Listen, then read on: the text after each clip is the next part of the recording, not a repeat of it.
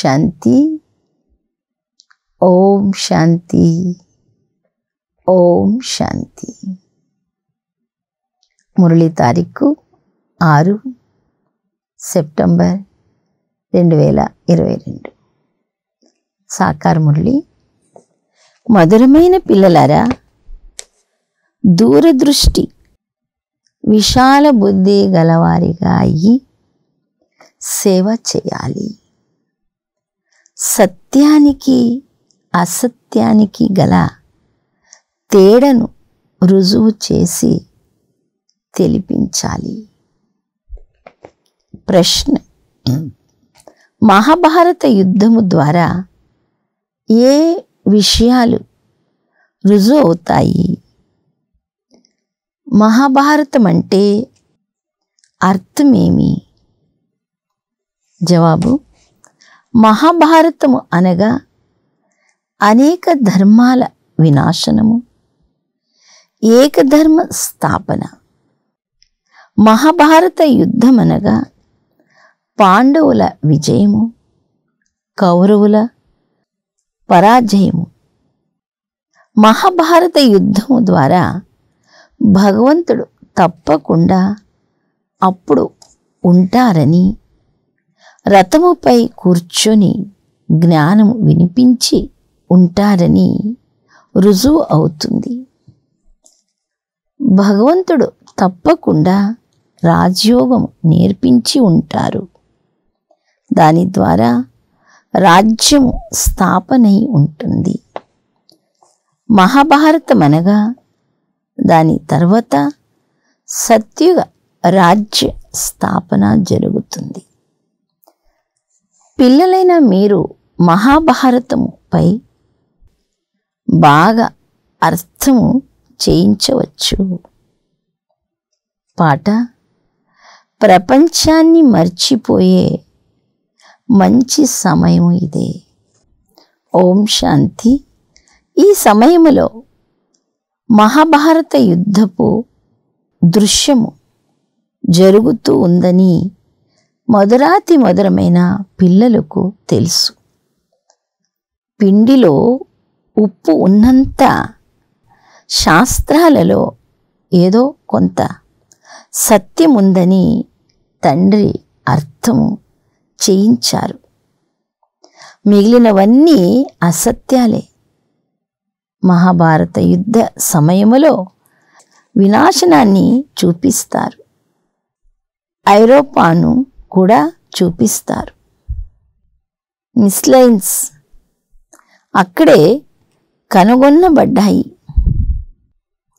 ఏకధర్మ స్థాపన జరిగే అప్పటి యజ్ఞమే మళ్ళీ ఇప్పుడు జరుగుతుందని కూడా పిల్లలైన మీకు తెలుసు. పాండవులకు విజయం లభిస్తుంది. ఇది రాజయోగము. అర్జునుని రథములో కూర్చొని అర్జునునికి కృష్ణుడు జ్ఞానం ఇచ్చినట్లు చూపిస్తారు. రాజయోగ జ్ఞానం ఇచ్చారని మీకు తెలుసు. మహాభారత యుద్ధము తర్వాత రాజయోగము ద్వారా తప్పకుండా రాజ్య స్థాపన జరిగి ఉంటుంది.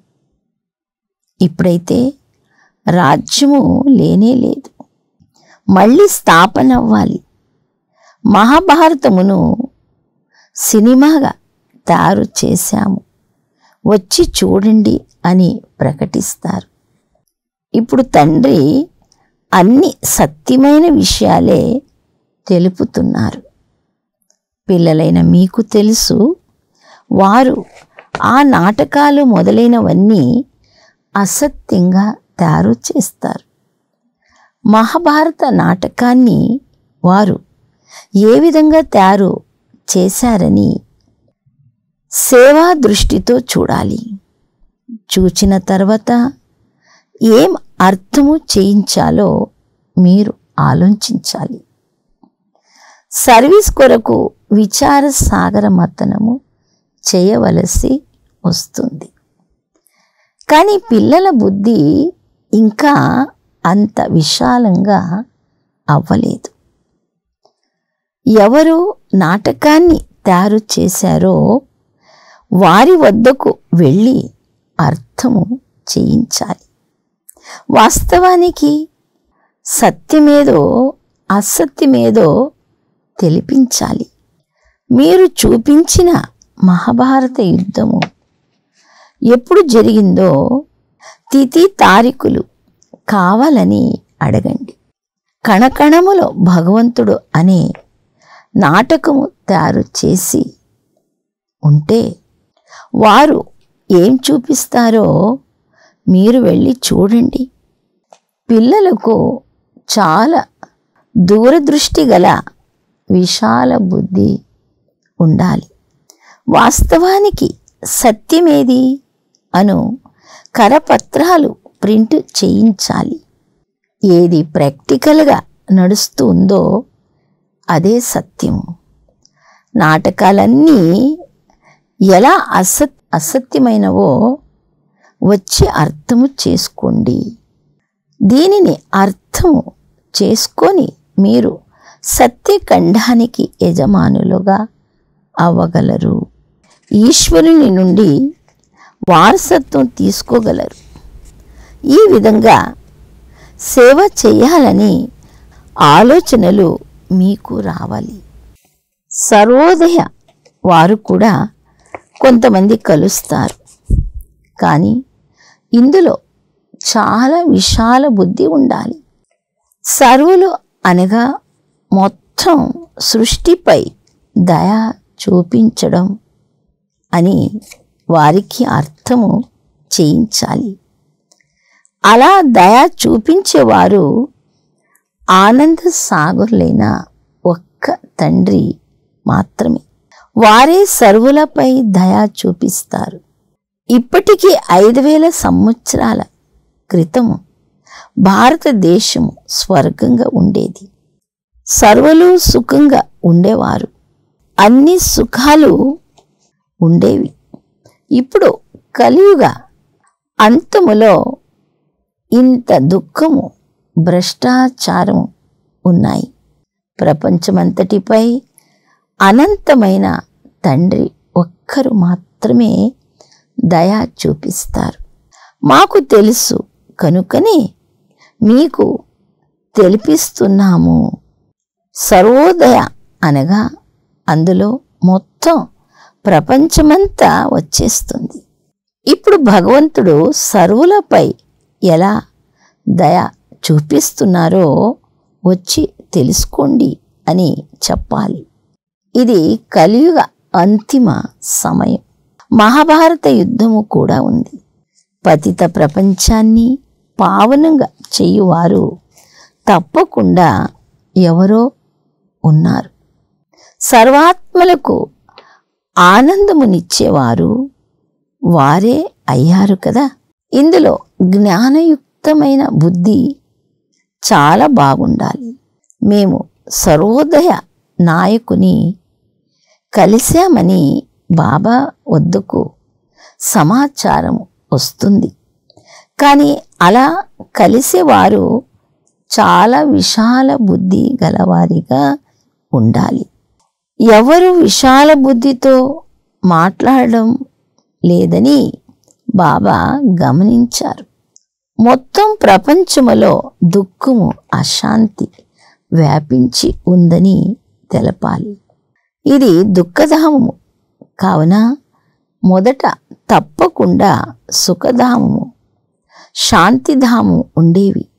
పిల్లలు ఇది కూడా వారికి తెలిపించలేదు. భారతదేశాన్ని చాలా మహిమ చేయాలి. భారతదేశాన్ని ఈ విధంగా తయారు చేసేవారు ఎవరు?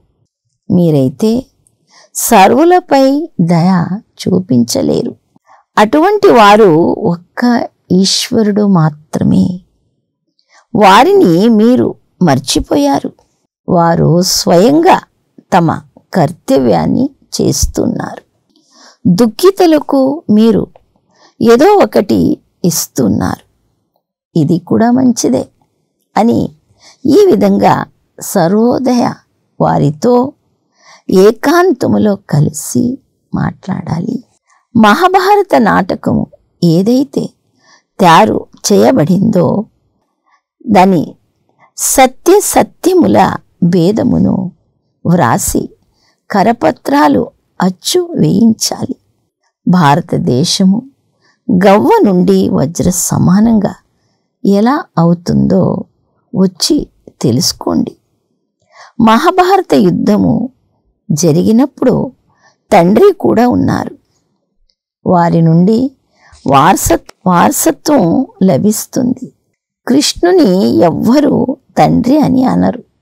మనుష్యులు ఓ గాడ్ ఫాదర్ అని పిలిచినప్పుడు నిరాకారుణ్ణి స్మృతి చేస్తారు.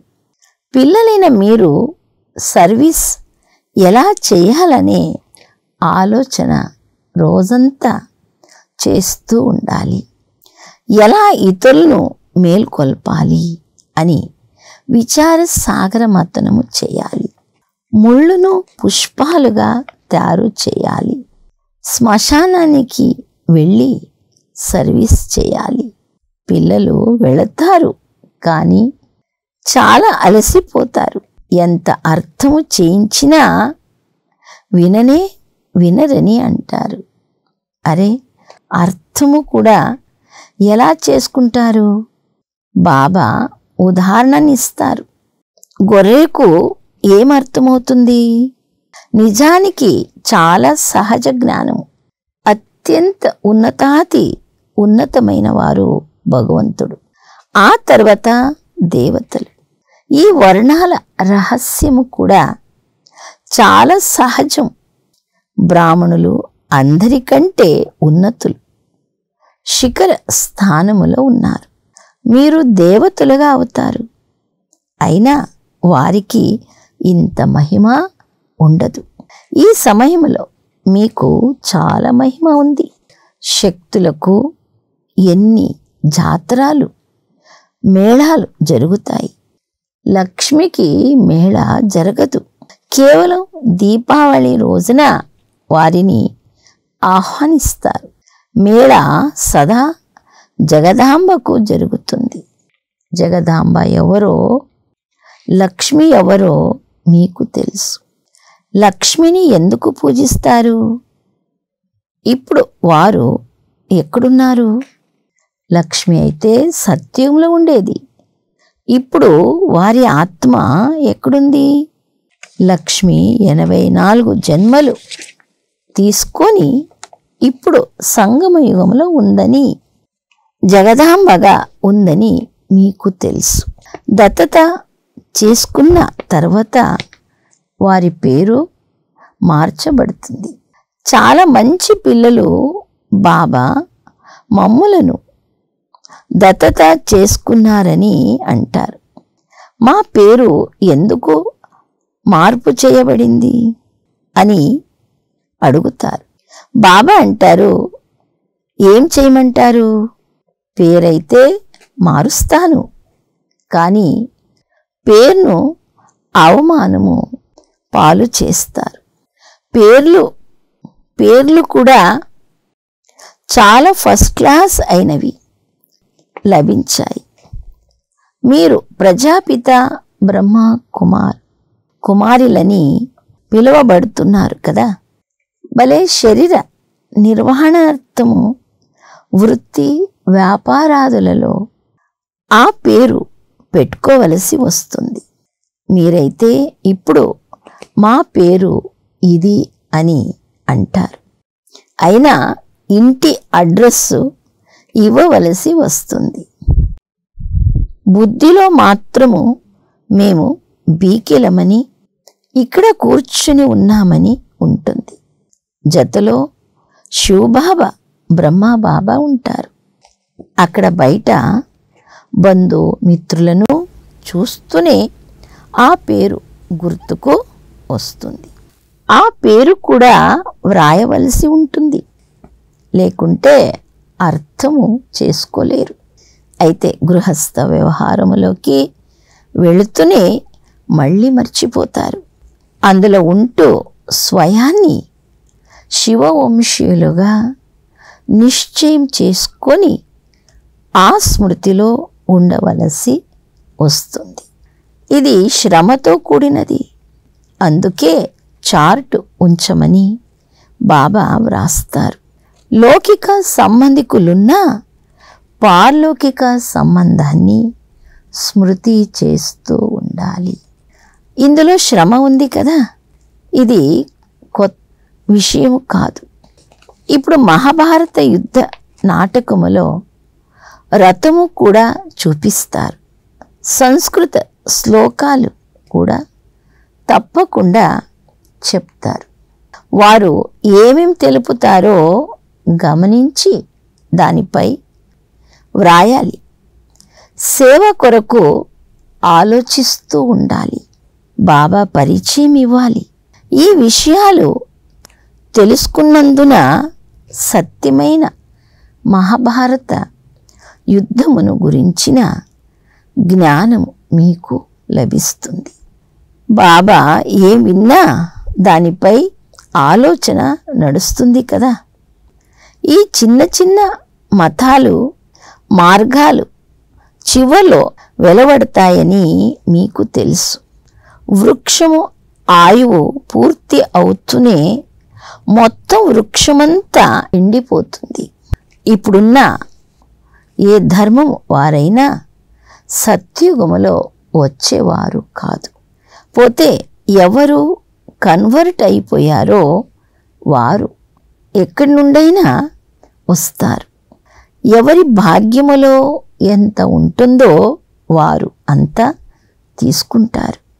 స్వయం అర్థము చేసుకొని ఇతరులకు కూడా అర్థము చేయించాలి. ప్రజలను తయారు చేయలేదు.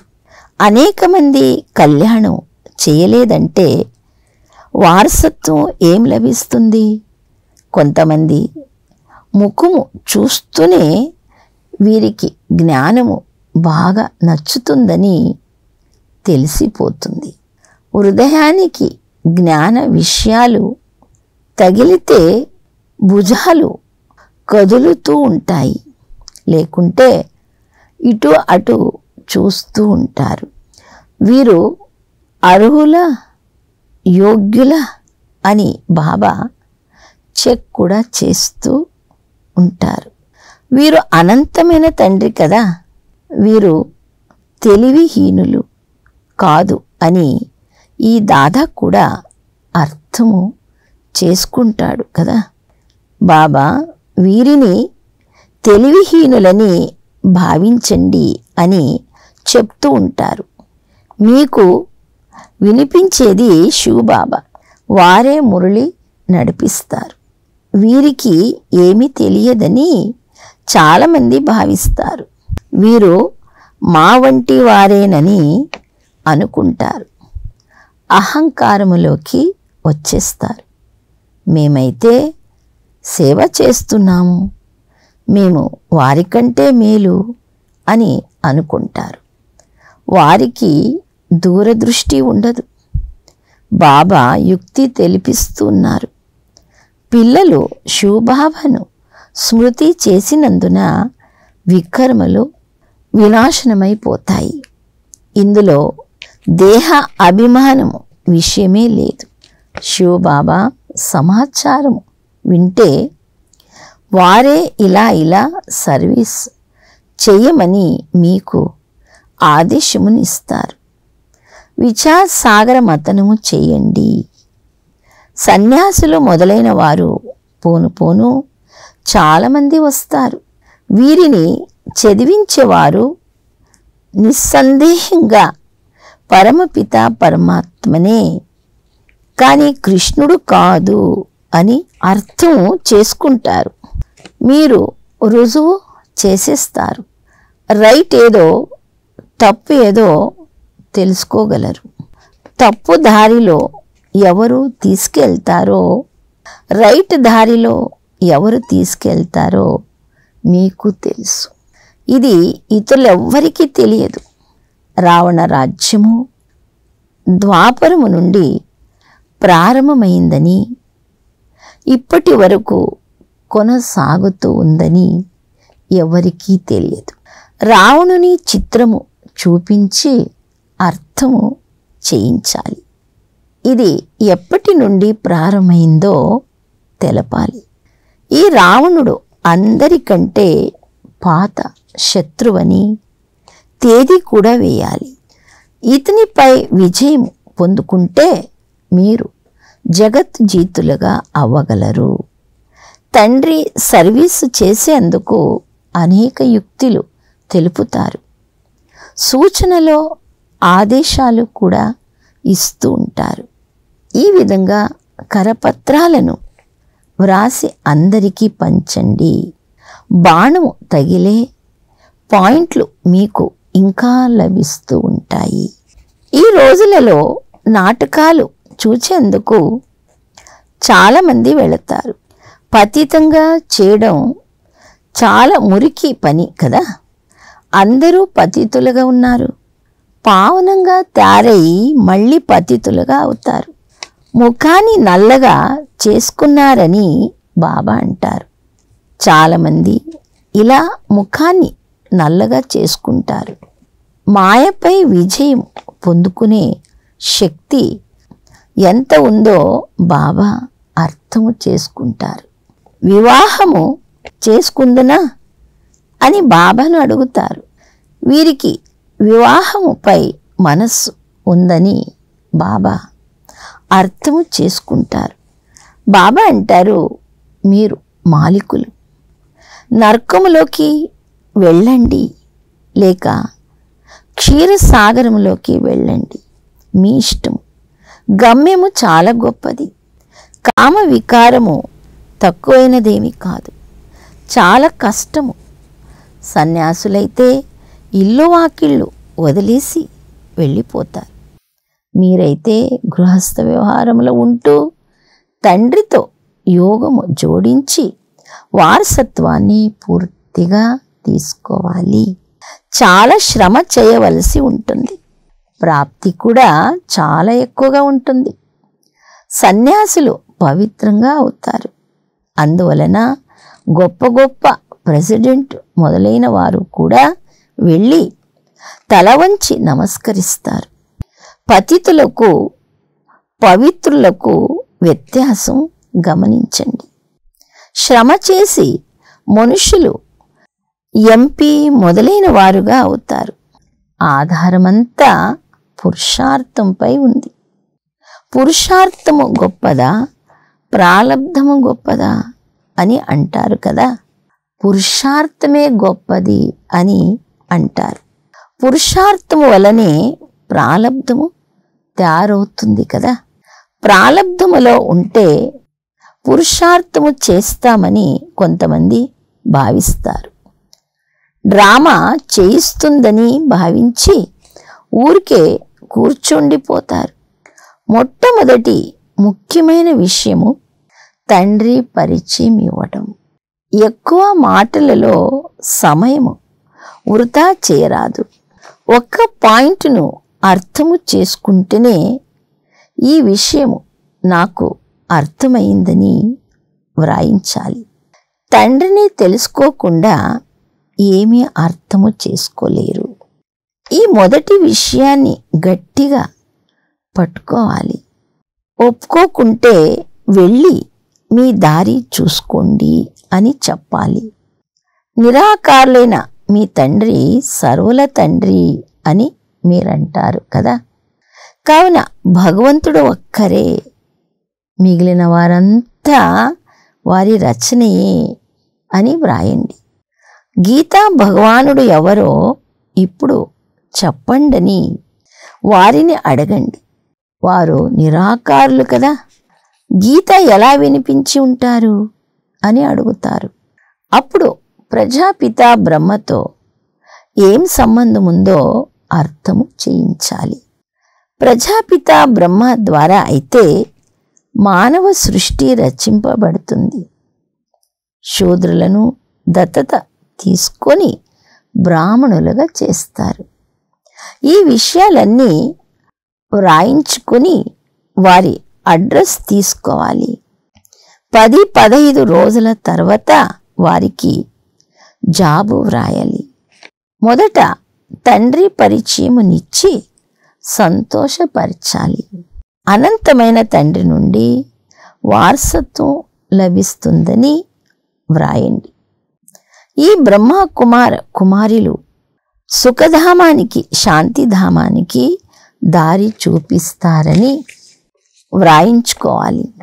తర్వాత చదివిస్తూ వ్రాయిస్తూ ఉండాలి. ఇంత శ్రమ చేస్తే అప్పుడు సర్వీస్ అని అంటారు. ఇతరుల కళ్యాణం చేయడములో నిద్ర ఎగిరి పోవాలి. శివ్ బాబాను కూడా శబ్దము చేసి పిలిచి పిలిచి వారి నిద్రను ఎగరపాటేస్తారు కదా. పిల్లలు కూడా శ్రమ చేయాలి. ప్రదర్శిని లేక ప్రొజెక్టులో కూడా మొదట ఈ పాయింట్లను గురించి అర్థము చేయించాలి అచ్చా मीठे मीठे सिकिलदे बच्चों प्रति मात पिता बाप दादा का याद प्यार और गुड मॉर्निंग रूहानी बाप की रूहानी बच्चों को नमस्ते हम रूहानी बच्चों की रूहानी बाप दादा को याद प्यार और गुड मॉर्निंग ఓ నమస్తే నమస్తే. ధారణ కొరకు ముఖ్య సారం మొదటి పాయింట్. సేవ కొరకు విచార సాగర మతనము చేయాలి. అలసిపోరాదు చాలామంది కళ్యాణం చేసేందుకు యుక్తులు రచించాలి. తర్వాతి పాయింట్. లౌకిక ప్రజల మధ్య ఉంటున్న పార్లౌకిక తండ్రిని స్మృతి చేయాలి. శ్రేష్ట పురుషార్థము ద్వారా మీ ప్రాలబ్ధాన్ని శ్రేష్టంగా తయారు చేసుకోవాలి. వరదానము ఒకే బలము ఒకే నమ్మకము ఉంచి అలజడి ఆందోళన చెందే పరిస్థితులలో ఏకరసంగా ఉండే సర్వశక్తి సంపన్న భవ వివరణ. ఒకే బలము ఒకే నమ్మకముతో ఉండే ఆత్మ సదా ఏకరస స్థితిలో స్థితమై ఉంటుంది. ఏకరస స్థితి అనగా సదా అచలంగా ఆందోళన రహితంగా ఉండడం. ఒక్క తండ్రి ద్వారా సర్వశక్తులను ప్రాప్తి చేసుకొని సర్వశక్తి సంపన్నంగా ఉండే ఆత్మ పరిస్థితులు ఎంత ఆందోళనకరంగా ఉన్నా అచలంగా స్థిరంగా ఉంటుంది. ఏకరస స్థితి అంటే ఒక్కరి ద్వారా సర్వ సంబంధాలు సర్వ ప్రాప్తుల రసాన్ని అనుభవం చేయడం. వారిని ఇతర ఏ సంబంధము తన వైపు ఆకర్షించలేదు. స్లోగన్ బేహద్ అనంతమైన సేవ యొక్క శ్రేష్ఠ వృత్తిని ఉంచడమే విశ్వ కళ్యాణకారులుగా అవడం. చ ఓం శాంతి.